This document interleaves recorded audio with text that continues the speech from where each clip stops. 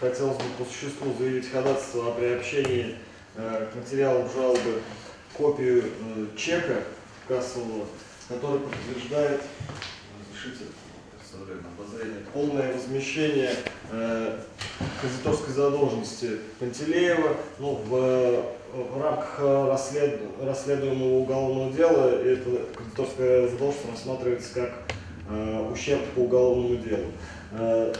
Э, с стороной защиты в ходе следствия принимались меры к погашению вреда. На первоначальной стадии э, был погаш, погашен весь э, объем, э, который э, содержится в постановлении о привлечении в качестве обвиняемого. Впоследствии о, сторона защиты обратилась с ходатайством э, к органам следствия сообщить обо всем ущербе, какой известно. Вот э, какой мы получили от органов следствия информацию в ответе на наше ходатайство. Весь этот э, ущерб в полном объеме э, обвиняемым Пантелеевым погашен. Ходатайствую вот о приобщении копии чека, подтверждающего последнюю, скажем так, транзакцию по возмещению. В настоящее время обжаловано постановление Октябрьского районного суда срок содержания под домашним арестом Пантелееву продлен до 8 месяцев. При этом единственным основанием, которое уже трижды указывает следствие в качестве необходимости избрания и продления меры пресечения, это тяжесть предъявленных обвинений и возможность уничтожить доказательства по делу, оказать давление на свидетелей. Полагаю, что за прошедшие 6 месяцев предварительного расследования органы следствия имели достаточно времени, чтобы собрать доказательства по делу и допросить свидетелей. В то же время представленные материалы не содержат ни одного доказательства, что Пантелеев совершил или может совершить одно из вышеуказанных действий. То есть, по сути, судебный акт основан на длящемся предположении органов следствия, на чем законный судебный акт основан быть не может. При этом за данное время, несмотря на ходатайство поданной стороной защиты, в котором было отказано, орган предварительного расследования не сделал главного, не назначил экономическую экспертизу на предмет установления платежеспособности Михеева, Пантелеева. На момент совершения сделки, которая, по мнению следствия, якобы привела его к неплатежеспособности.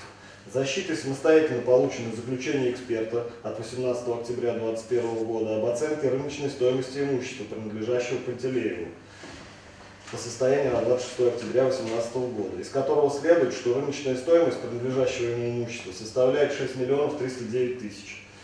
Указанной суммы более чем достаточно для погашения указанных следствием долговых обязательств. Кроме того, судом первой инстанции не принято во внимание и не учтено, что вся сумма ущерба, которая предъявлена Пантелееву в качестве причиненного ущерба, им была погашена, что еще раз подтверждает его платежеспособность.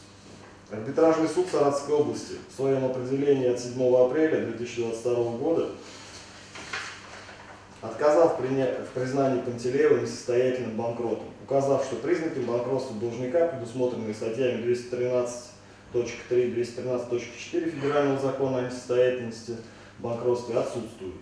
Таким образом, в настоящее время складывается парадоксальная ситуация, когда человек уже более 6 месяцев лишен свободы по обвинению в преднамеренном банкротстве, хотя даже не признан банкротом в установленном порядке и погасил имеющиеся у него кредитные обязательства. Отмечу, что само возбуждение уголовного дела основано лишь на рапорте сотрудника органов внутренних дел, без заявлений потерпевших, которые никаких финансовых претензий к Пантелееву более чем за три года не предъявляли и в настоящее время не имеют, что явно указывает на то, что данное дело носит скорее политический и тенденциозный характер и направлено лишь на незаконное ограничение свободы не только Пантелеева, но и других обвиняемых по делу.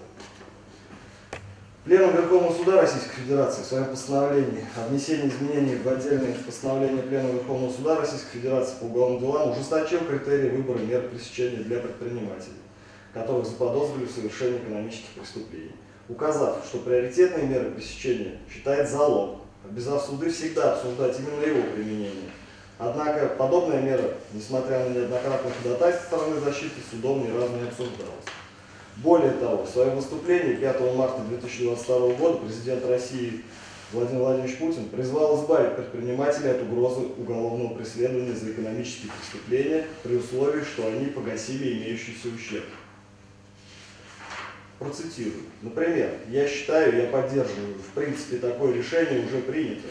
Нужно избавить людей от угрозы уголовного преследования за экономические преступления, тем более, если возмещен ущерб, сказал Владимир Владимирович. Хочу отметить, что в Саратове возбуждено и расследуется целый ряд уголовных дел, связанных в том числе с преднамеренным банкротством, как банков, так и организаций в строительной отрасли, где ущерб составляет от десятков до сотен миллионов рублей, а пострадавшими являются сотни граждан. Однако по этим делам подозреваемым и обвиняемым мера пресечения либо вовсе не избирается, либо ограничивается запретом определенных действий. Последний пример – дело ЗАО ЖБК-3 по статье 196, где следствие оценило причиненный ущерб в 40 миллионов рублей. Однако подозреваемым мера пресечения не избрана вовсе. Подобные действия как следствие, так и суда первой инстанции, полагаю, нарушают установленный частью 2 статьи 19 Конституции России принцип равенства всех перед законом и судом. Не только необоснованно долго и без оснований сохраняя меру пресечения в виде домашнего ареста, но и лишая его возможности в это непростое для всей страны время работать и содержать семью. Поэтому прошу суд заменить Пантелееву избранную меру пресечения в виде домашнего ареста на запрет совершения определенных действий. Обвиняемый вам слово представляется преступление. Ваша честь, я полностью поддерживаю своего адвоката. Препятствию следствию, следствию никаких с моей стороны действий не будет. Прошу изменить домашний арест на совершение определенных действий, так как у меня находится малолетний ребенок, и мне его надо содержать и продолжать работу, чтобы содержать семью. Прокурору. Ну Участники процесса, вопреки долгу апелляционной жалобы, я считаю постановление Октябрьского районного суда от 1 апреля 2022 года, которым продлен срок содержания под домашним арестом обвиняемого Бактелеева соответствующим требованиям части 4 статьи 7 Уголовного процессуального кодекса Российской Федерации, законным, обоснованным и э, мотивированным. Обращаю ваше внимание на то, что в ходе настоящего судебного разбирательства проверяется э, лишь э, законность э, решения судов первой инстанции вопроса по мере пресечения. Оценка доказательств, законность возбуждения уголовного дела в данном случае предметом судебного разбирательства судом апелляционной инстанции не являются. Эти вопросы будут рассмотрены судом первой инстанции при рассмотрении уголовного дела по существу. А, Полагаю, что судом первой инстанции при э, рассмотрении ходатайства следователя о продлении срока содержания под домашним арестом Пантелеева не допущено нарушение принципа состязательности сторон. Суд первой инстанции исследовал как доводы следователя о необходимости продления срока нахождения под домашним арестом Пантелеева, так и предметом судебного разбирательства были э, все э, доводы защиты о возможности изменения меры пресечения Пантелеева на более мягкую. Таких оснований для изменения меры пресечения суд первой инстанции не нашел, о чем, я полагаю, достаточно мотивированно указал в своем постановлении. Не усматриваю каких-либо нарушений норм уголовно-процессуального закона, которые могли бы явиться основанием для отмены либо изменения обжалованного постановления. Считаю, что постановление Октябрьского районного суда от 1 апреля 2022 года необходимо оставить без изменения апелляционную жалобу без удовлетворения.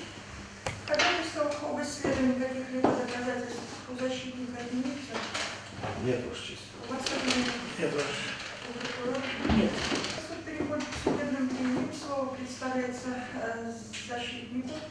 Считаю необходимым постановление Октябрьского районного суда о продлении э, меры пресечения в виде домашнего ареста в отношении обвиняемого Пантелеева Михаила Александровича отменить, избрать в отношении него более мягкую меру пресечения в виде запрета определенных действий. У меня все, Ваша представляется. Ну, Я поддерживаю адвоката, прошу Вашу честь изменить домашний арест на, вид определенный, запрет определенных действий.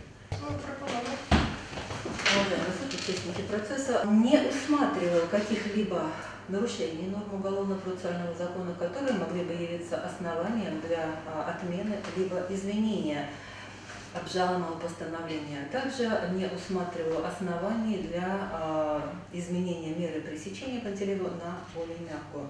Как я уже сказала, суд в полном объеме рассмотрел э, доводы защиты о возможности изменения меры пресечения на более мягкую. Выводы суда о необходимости продления срока содержания под домашним арестом Пантелеева мотивированы и основаны на исследованных судом материалах. Суд обоснованно указал, что обстоятельства, послужившие основанием для избрания ему этой меры пресечения, не изменились. А, При этом а, судом также проверены а, доводы защиты о неэффективности предварительного расследования. Суд установил, что причины, по которым предварительное следствие не было окончено ранее, а, являются объективными. Они связаны с особой сложностью уголовного дела, со значительным а, объемом а, следственных действий, которые проводились и необходимо было провести. Также судом, вопреки доводам защиты, проверена обоснованность подозрения Пантелеева в причастности к совершению инкриминируемого преступления. Полагаю, что ввиду отсутствия нарушения требований Уголовно-процессуального закона, обжалованного постановление Октябрьского районного суда от 1 апреля 2022 года, необходимо оставить без изменения апелляционную жалобу без удовлетворения.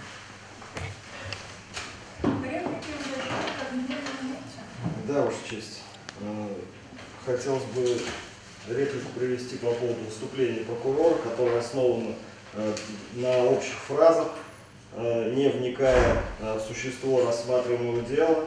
Такие фразы можно произнести и высказать по любому рассматриваемому здесь делу.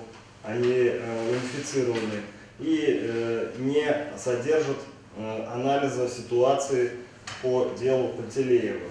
А если возвращаться к делу Пантелеева, то я хотел бы обратить внимание, вопреки доводам прокурора, что следственная группа в составе семи следователей по данному делу провела менее 20 следственных действий, менее, э, по- порядка 15 свидетелей они допросили за 6 месяцев.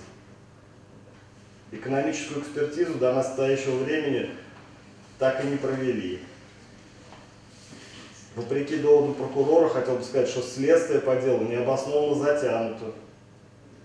И никаких оснований оставаться Пантелееву под домашним арестом по делу не имеется. У меня все, Ваша честь. Какое последнее слово представить? Прошу изменить меру пресечения с домашнего ареста на, на, на запрет определенных вид действий. Суд совещательную комнату.